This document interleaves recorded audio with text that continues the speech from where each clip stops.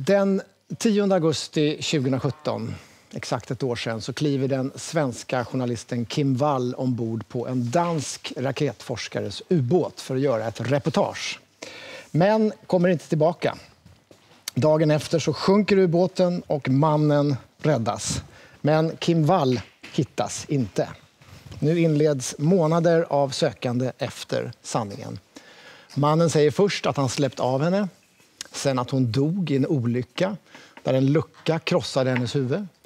Men ändrar sig igen och säger att hon dog av förgiftning. När Kim Walls kroppsdelar hittas på olika håll vid Köpenhamns kust så erkänner mannen att han har styckat henne men fortsätter att hävda att han inte har mördat henne. Men bevisen tyder på en annan verklighet. Den 25 april fälls till slut mannen för mord, sexbrott och griftefrid. I september kommer fallet att prövas igen, den här gången i danska hovrätten. Välkommen Leif. Tack, tack. Eh, det är värt att säga kan ju vara att han har visst inte erkänt att han har mördat henne, men eh, vid överklagandet så har han inte överklagat åklagarens gärningsbeskrivning, utan bara påföljden. Och, ja, och det betraktar jag som ett erkännande. Eh, är det här en person som skulle kunna erkänna någonting? Eller säga? Ja, jag tror att det är väldigt svårt för honom att, att göra räkning för just den biten. Eh, med tanke på det han har hållit på med. Eh, det är mycket utdraget förlopp. Va? Det, och tortyr och sådana där saker. Och det har pågått i timmar tyvärr. Så det klarar han nog inte, nej. Utan, men då tar han den här lösningen istället då för att han vet att, att det, ett överklagande i den delen skulle inte ha någon framgång. Du har ju verkligen följt det här på djupet. Eh, vad, är det i den här historien som har fastnat extra mycket hos dig? Ja, det är, eh, polisarbetet är ju fenomenalt. Va? Från, från första minuten. Så fort han kliver i land där, eh, strax före lunch dagen därpå. Det här hände på en fredag för exakt ett år sedan, samma datum som idag. Fredag kväll och natten till lördag. Då grips han och tas då för en rättsmedicinsk undersökning där man kollar spår på hans kropp och hans kläder. Hittar sådana också. Ganska mycket faktiskt. Och, och sedan, varför gör man det? Ja, det här samtidiga sammanträffandet av att Kim Wall försvinner på det här viset. Hon har ingen som helst försvinnande historik och sådär. Och det finns ingenting akut som tyder på att de vill sticka själva. Samtidigt som hans ubåt sjunker några timmar senare. Det, det första är mycket osannolikt, det andra är extremt osannolikt. Sammantaget så är det inte sant. Va? Och det är så poliserna resonerar. Han måste ha hittat på någonting med henne. Va? Eh, Och vad är det som eh, gör att den misstanken väcks då direkt? Alltså bara en sån sak, jag, jag bilderna här, han ser hatar slumpen.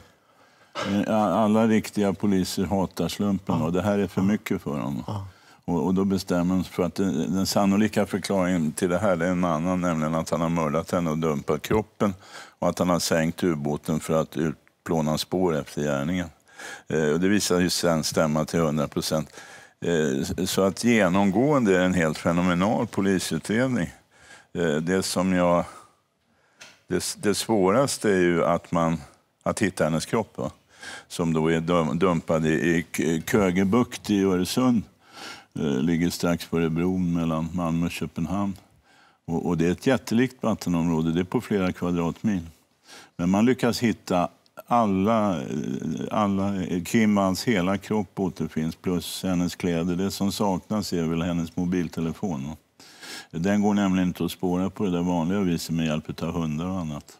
Men hundarna, de svenska hundarna ja. gör ett eh, väldigt viktigt jobb här. Ja, det är klart de gör. Eh, danskarna har ju inte sökhundar på, som jobbar på vatten, men det har vi. Så de lånar ut ett antal till dem. De gjorde ett mycket bra jobb. Eh, Ingrid Wall, eh, Kim Walls mamma, sommarpratade igår ja, och ja, vittnade det... just om, om det du beskriver om en oerhörd respekt som hon kände från poliserna. Och, det hon beskriver är att hon hela tiden kände att de fick alla framsteg i utredningen, alla otäcka utvecklingar oh, först. Är det självklart i en polisutredning? Nej, det är ju inte det tyvärr. Och då, då uppstår det onödiga spekulationer. Och om man ska säga något om det så är det ibland att poliser de förtiger vissa saker av av hänsyn till eh, offrets anhöriga. Men, men danskarna valde en annan modell. De berättade allt det där mm. som de hade kommit fram till. Och själv så gjorde jag så att, för det kan vara jobbigt att beskriva en sån här händelse. Eh, I och med att man vet att det kan plåga anhöriga kolossalt. Så jag, jag förhörde mig om det tidigt innan jag började mm, så att säga, delge omvärlden min uppfattning om vad som hade hänt. Och då berättade de om detta, att det här fullständiga öppenhet som rådde. Och det tror jag faktiskt är enda vägen ut, speciellt idag med tanke på den ganska omfattande nyhetsförmedling som sker via ordinarie media. Så att säga. Man, det, det, har ju så att säga, varit en enorm uppmärksamhet kring det här. När man, när man tittar tillbaka så är ändå en av frågorna som uppstår alltså, varför Kim? Varför blev det just hon? Ja, det är en planerad gärning. Va? Så att, eh, han skulle mörda någon, men inte ja, just Kim? Ja, och så blir det hon då. Ja. Eh, jag, jag, tror att det är så att han just i den situation han då befinner sig så har han råkat ut för en stor besvikelse. Hela hans vuxna liv har ju gått ut på att han ska få skjuta upp sin raket då som, som den första. Och sen har han en konkurrent som nu kommer att bli den första istället för honom. Och, och sen har han mycket länge levt den här typen av våldsfantasier. Och det var okänt för ja, de flesta? Ja, det var okänt för, för den vidare omvärlden. Men hans närmast bekanta visste ju om den. Och där levde han ut på olika klubbar och sådär. Man tänker på, vad jag förstår, några kvinnor fick ju frågan. Han ville, ville få med sig kvinnor vid upprepade tillfällen ja, i båten. Man kan inte låta bli att tänka på vad de tänker. Eh, det var säkert tillfälligheter som gjorde att de inte följde med. Ja, jo, eh, det... Några av dem kanske kände till den här delen. Ja, ja, oh ja, det är flera av dem som känner till den och till och med någon som har vittnat om det. Men, men detta sköttes privat och ledde aldrig till några anmälningar.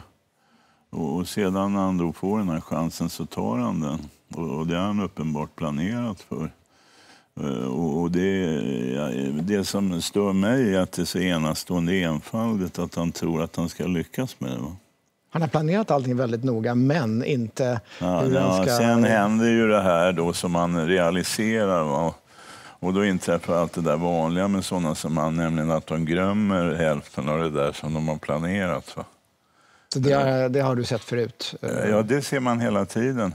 Och med hans erkännanden, för de är, det, det är ju också på det viset att de konfronterar honom med fakta som det är meningslöst att ljuga om, för det minskar hans trovärdighet totalt.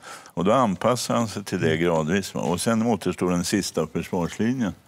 Nämligen att eh, erkänner han att han har mördat henne, ja då är det ju tvärkört. Va? Så, så då, där, där gör han halt. Och sen får åklagaren leda i bevis och det lyckas han med alldeles utmärkt. Men det här konsekventa då nästintill, ja det får väl experter bedöma, men det psykopatiska ljugandet och anpassandet. Ja, kan man, gå, i land, ja, kan man gå i land med det? För att det blir så uppenbart att han anpassar sig. Ja, i och med att han är empatilös. Han, han, har ingen, han har inte minsta problem med vad han har utsatt henne för. Det besvärar honom inte det minsta. Det är för honom en lustfylld fantasi. Eh, så att sådana eh, som detta som skulle slå en eh, vanlig människa till marken förutsatt att de hamnade i något som påminner om det här. Va? Men, men det plågar honom inte det minsta. Han, är, han får mycket varma lovord från psykiatrikerna som har tittat på honom. De, de säger att han är en notorisk lögnare och han är narcissist och han är psykopat. Va? Det är full poäng på samtliga grenar där. Och vad vet man om en sån persons just förflyttning från det här intresset för våldspornografi ja, och ja, våld till det, att gå det, över gränsen? Ja, ja, på den punkten förvånar han ju. För att man har ju letat sig trött efter... Man tänker så här, debuterar en sån som han med, med ett sånt här brott? Sannolikt inte. va? Eh, och man har letat runt i hela det europeiska närområdet och även på andra sidan Atlanten efter liknande brott som kan kopplas till honom. Man har inte hittat något.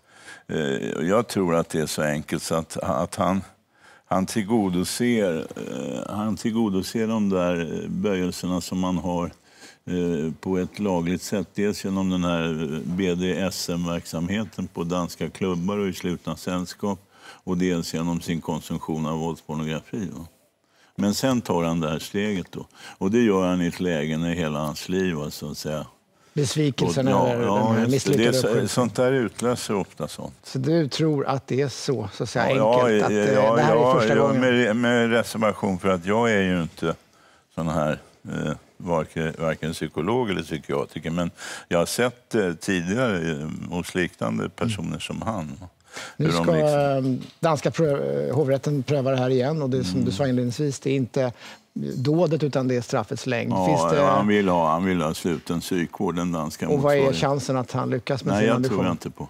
Utan tror- du tror att eh, straffet fastställs? Ja, det, är statistiskt ovanligt att hovrätten ändrar en så pass... Eh, alltså det är en enhällig dom från, från byrätten och nu är det landsrätten, deras hovrätt.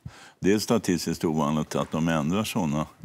Eh, gör det någon skillnad om man nu skulle få förvaring istället? Nej, han kommer ändå sitta inne livet ut gissar jag. Jag- tror dessutom att man fastställer livstidsdom. Tack Leif. Vad har du för planer nu närmast? Men nu ska jag åka ner till landet och umgås med familj. Det låter som ett väldigt Ja, bra ja, projekt. ja, jag vill leva ett stilla liv där. Tack för att du kom Tack. hit, som vanligt.